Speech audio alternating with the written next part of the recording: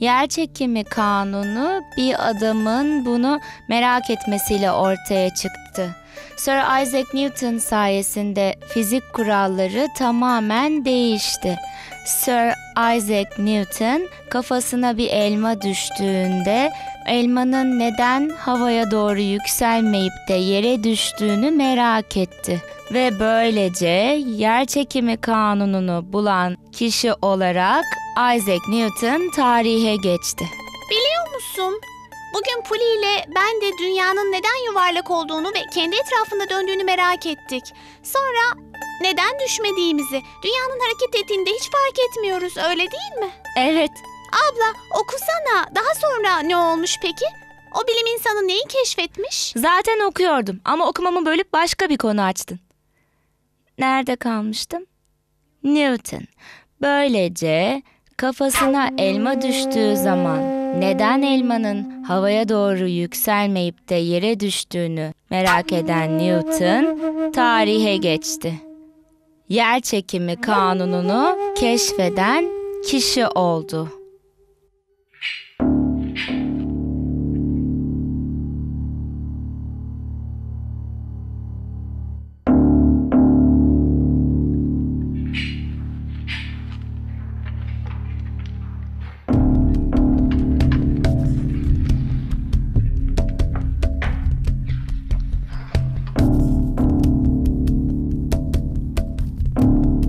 Sugda ne yapıyorsun? Babaanne, Anandi doğru dürüst dua etmeyi bile bilmiyor. Bu yüzden ona kitaptan yaratanla ilgili bir hikaye okuyordum. Anandi, her hafta bir gün oruç tutmalısın canım. O zaman Jagdish sınavlardan tam puan alır öyle değil mi babaanne? Eh, Sugna doğru söylüyor ha.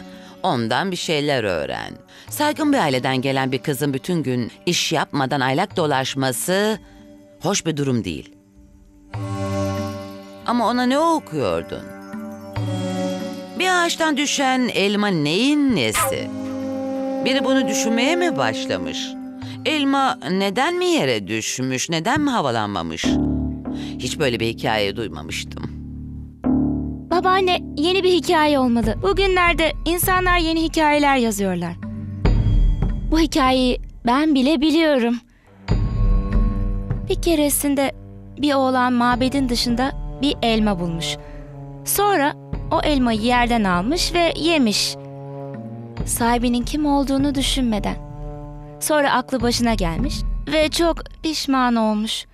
Ve sonra da oğlan mabette günlerce af dilemiş. E, e, Bir gece rüyasında kefaret olarak ondan perşembe günü oruç tutması istenmiş. Ha tamam. Bunda yeni bir şey yok. Tüm hikayeler birbirinin aynısı. Bu hikayeleri can kulağıyla dinle. O zaman iyi ve erdemli şeylerin ne olduğunu öğrenirsin ha. Perşembe günü oruç tutarsan hayatın daha iyi ve mutlu olmaya başlar. Tamam mı? Hikayeyi yüksek sesle oku ve sen de iyi dinle. Olur mu?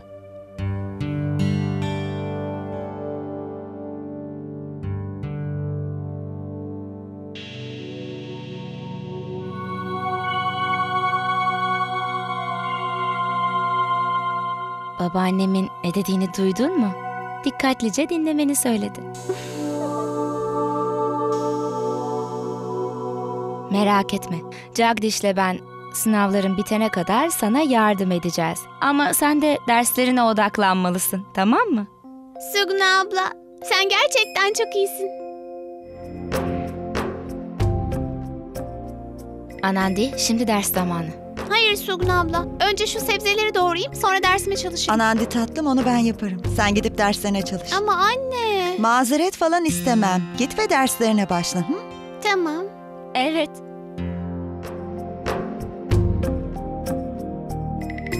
Gördün mü?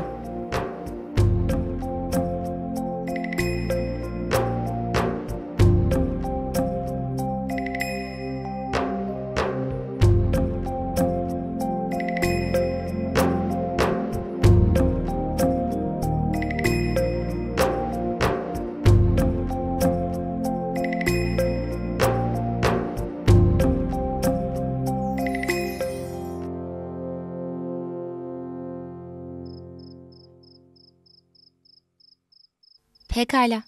Bugün yeterince çalıştın. Hadi yat.